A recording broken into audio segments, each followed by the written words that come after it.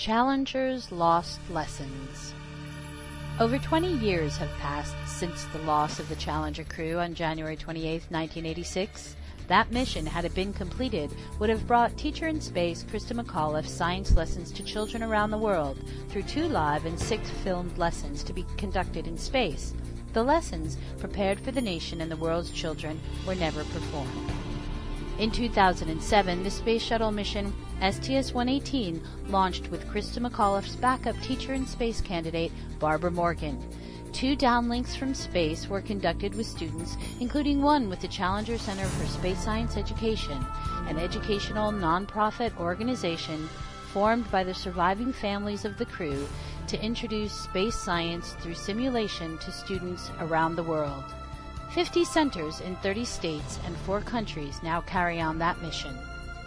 Back in the 1980s, a NASA educational specialist, Bob Mayfield, wrote descriptions of the six planned activities for Christa McAuliffe in space, focusing on the science and engineering performed in the conception and planning of the lessons, and describing related Earth based exercises. Mock up planning practices of the six activities and the two live lessons, and zero gravity demonstrations on video by Christa were collected and are now made available to help teachers understand and to teach Christa's lessons. They are available on the Challenger Center for Space Science Education website at www.challenger.org. All six experiments include a materials list setup and step-by-step instructions for teachers to use in the classroom with students. Using these activities, teachers can replicate that which Christa was not able to share from orbit. Christa's wonderful teaching gift and her spirit are captured on the videos, and her remarks and actions in training accomplish most of her lesson plans. Her often quoted remark, I touch the future I teach, is validated through the distribution of the materials by Challenger Center, the organization formed to carry on the educational mission of the crew. Students experiencing the lost lessons will be the future touched by Christa's teaching gift. The videos we have though performed on Earth and in NASA's zero G aircraft rather than on orbit, include Christa's remarks for the six experiments. The Teacher in Space project involved six activities which would be filmed and photographed during the mission and two live lessons. The six activities were planned to be conducted on the topics of hydroponics, magnetism, Newton's laws, effervescence, chromatography, and simple machines. The goal of the hydroponics activity was to demonstrate a possible procedure that might be used on the space station and in future space endeavors to provide nutrient requirements for plants in a closed environment in microgravity. The objective was to demonstrate the processes related to growing plants in microgravity. The goal of the magnetism activity was to understand the role of magnetic lines of force in the space environment. The objectives were to photograph and observe demonstrations of magnetism in space and to photograph and observe lines of magnetic force in three dimensions in a microgravity environment. A compass and bar magnet, procured from a teacher supply store, were selected to demonstrate that magnetism certainly is a force in microgravity. The goal of the Newton's laws activity was to demonstrate the fundamental laws of motion during weightlessness.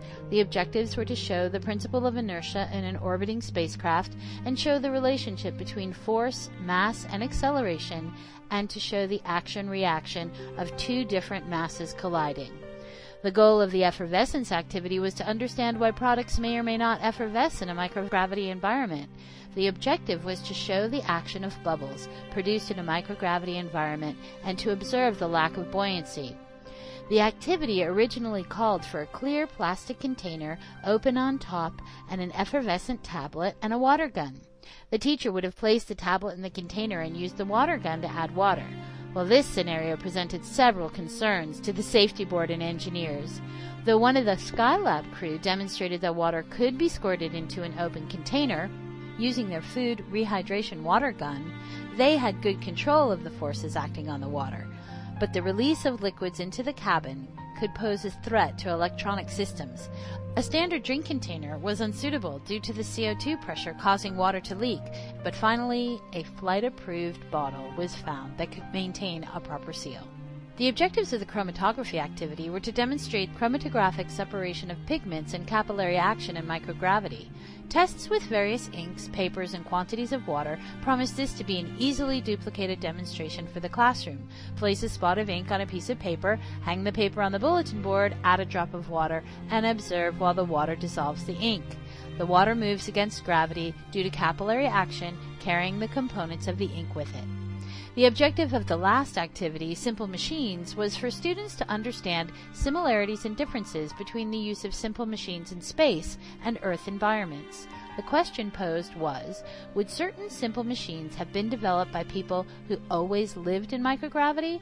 Or stated another way, what are the applications in space for simple machines like the wheel and axle, lever, inclined plane, wedge, and the pulley?